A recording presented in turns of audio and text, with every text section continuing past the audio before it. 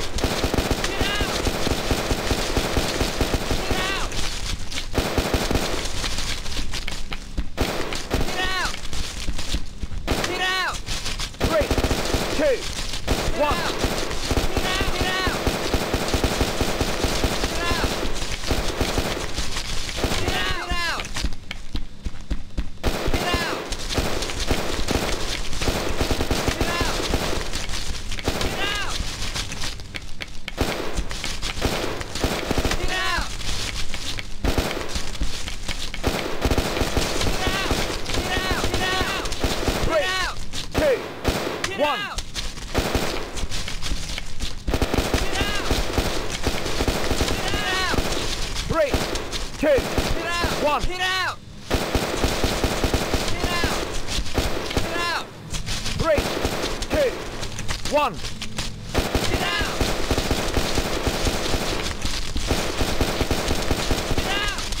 Three, two, one.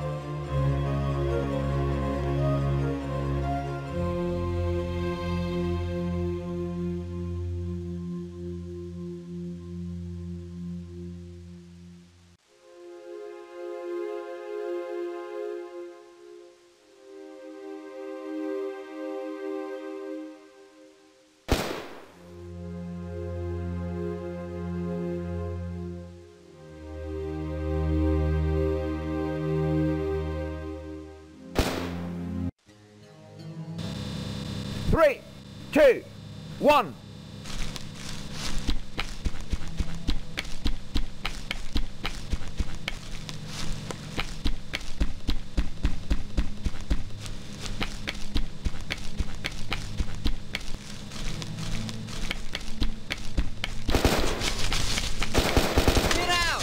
Three, two, one.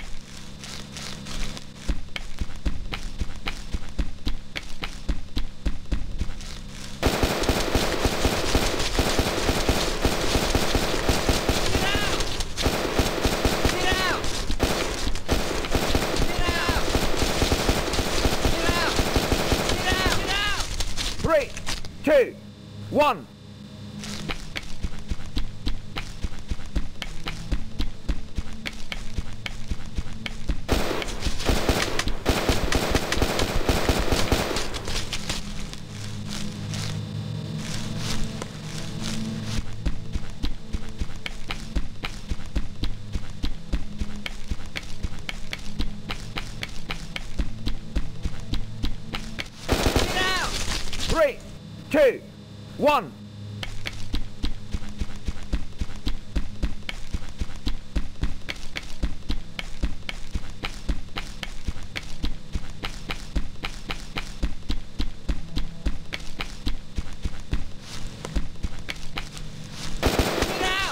Three, two, one.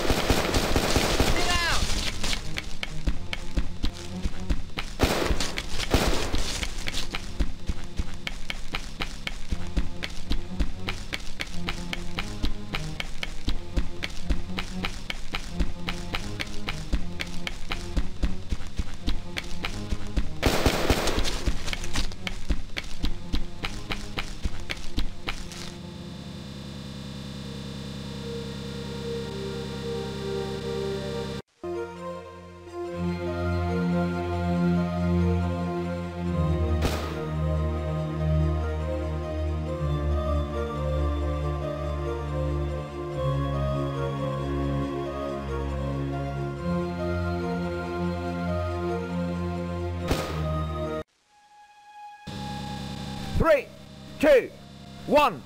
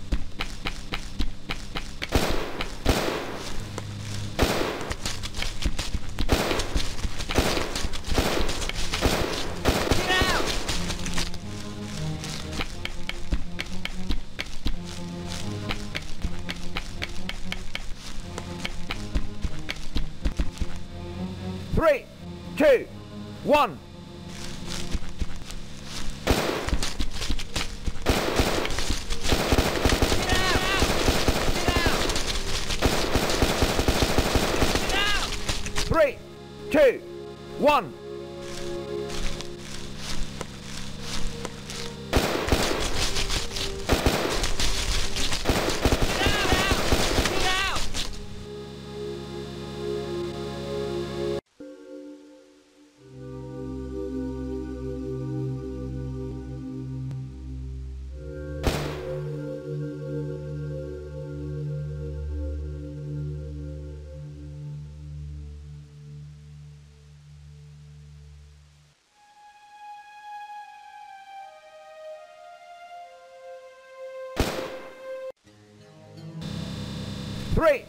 two, one.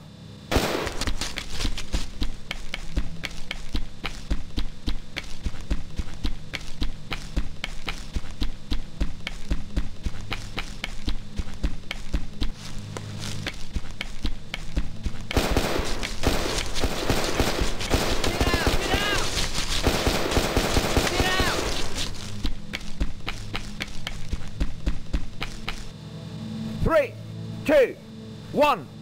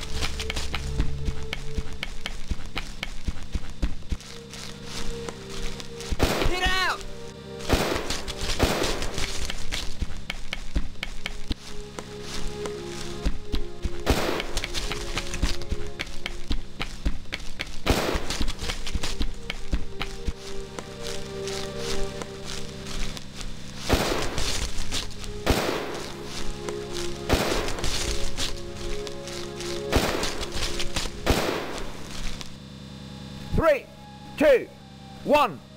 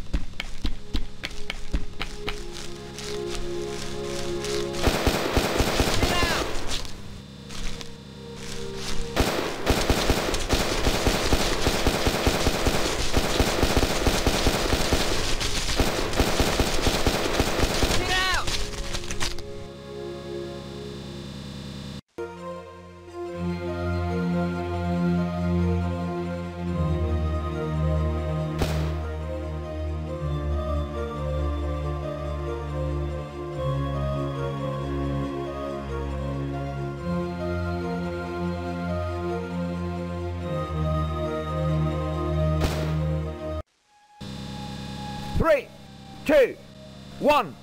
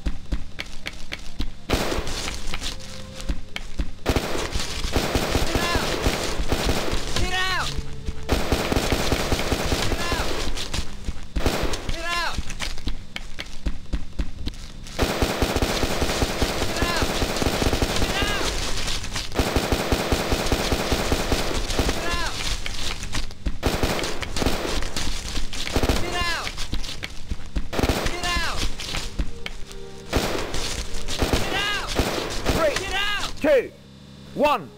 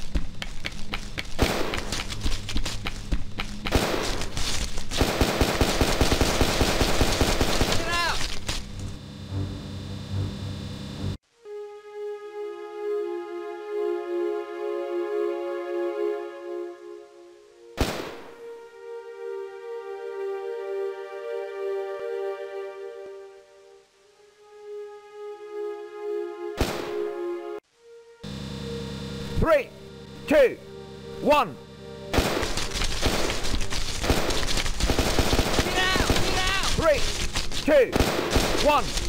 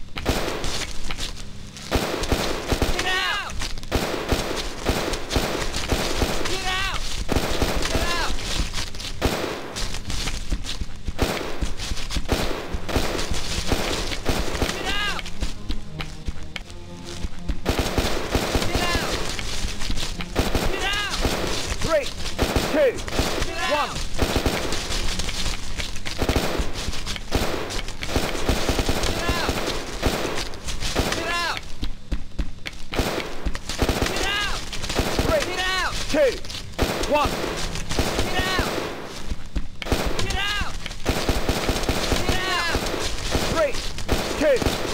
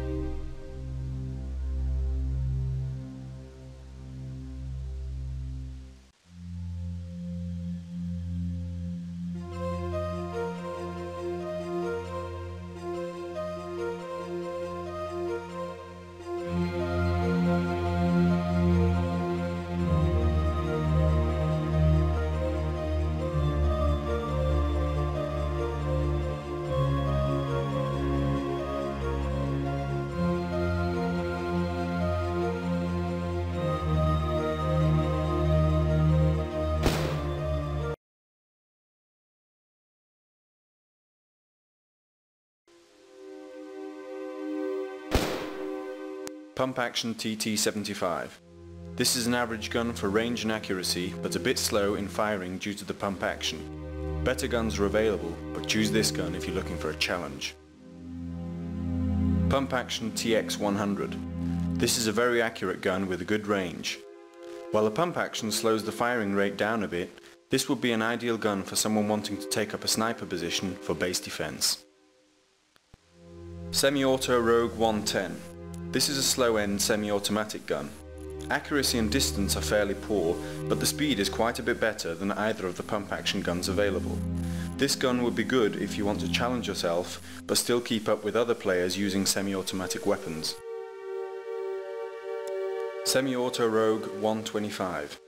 This gun has poor distance capabilities, but decent accuracy and the advantage of the semi-automatic rate of fire. While it's not as good as some other guns available, it's not a bad choice either. Semi-Auto Titan 90. This is a good gun, but not perfect by any standard. It has good accuracy and the rate of fire advantage of a semi-automatic, but a less than the stellar range. This is a good gun for close combat. Semi-Auto Titan 100. While this gun has certain advantages over the previous model, the Titan 90, such as a bigger hopper, they were at the expense of accuracy. Because of those changes, with a medium distance capability and a semi-automatic rate of fire, make this a good gun to clear a small area. Semi-Auto Goliath 110. This is a good all-round gun, probably the best general purpose weapon you have available. It has a good accuracy, a good rate of fire and a decent range.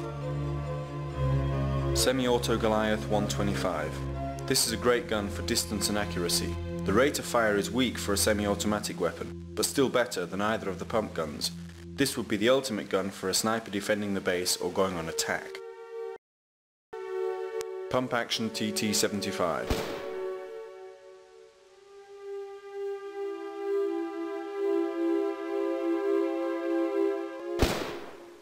Bunker Hill. This area is a rectangular area with the two flags positioned in two diagonal corners. In front of the flag areas there are open spaces with boxes, rocks and trees to provide protection. The middle of the arena is dominated by large buildings, mostly warehouses. Most of these buildings have multiple entries, although they are old warehouses they don't provide a lot of protection. Most buildings also feature several levels inside, connected with pathways or stairs. Due to the arena's many interconnecting paths, you always need to stay on your toes, an enemy can appear almost anywhere. Gloomy Woods. In a very atmospheric, dark surrounding, this arena is oval-shaped, surrounded by very thick vegetation. The flags are positioned in each side of the arena, with a bunker on each side of the flag for strong defence. In the middle of the map there is a clearing with another bunker on each side. These are of high tactical importance as they control the passages between the two camps. There is also some cover present in the form of trees and low standalone walls. A good start is important when playing this arena. Getting early control of the two middle bunkers can prove decisive. Irish Forest. The area is a rather small circular forest. Large trees give good cover and together with the many standalone walls you should be able to move around without exposing yourself in open areas very much. However, due to the fact the area is circular, enemies can turn up from all directions if you're located in the middle. In case you do get caught in the middle of the map, there is always a way out. Run through the old fallen tree, which now serves as a tunnel. It will take you out of the heat, at least temporarily. A good idea might be to stick to the fence, which is surrounding the area. That rules out being attacked from behind. Hilltop Village. This arena needs tactical skill to master due to its size and its many strong tactical positions. The two flags are positioned at each end. The area is dominated by a high hill in the middle. On one side there is a pond with a bridge over it, on the other there are boxes and other things that can be used for cover, and also the start of a pathway leading to the top of the hill. Be sure to receive cover from your teammates while going up the pathway. There is nowhere to hide and the pathway is long. Under the hill there is a tunnel which leads to a tactically strong plateau situated above the pond. Passing the plateau there is a pathway leading to the second entry of the hilltop. The hilltop offers quite a lot of good protection in the form of standalone walls and boxes. There are also two small houses that you can enter for protection from multiple directions. Ghettoville. This is a very difficult map to control. It's like a small city consisting of large condemned buildings. The streets are mostly wide open without much cover, only the occasional cargo box and a few oil barrels. This makes it very tricky to safely make your way from building to building. Inside the buildings, on the other hand, cover is generously offered by hiding behind boxes, tipped over tables and bars. A good tactic for this map is to stick close to your teammates and very methodically track down your opponents. Bunker Hill. This area is a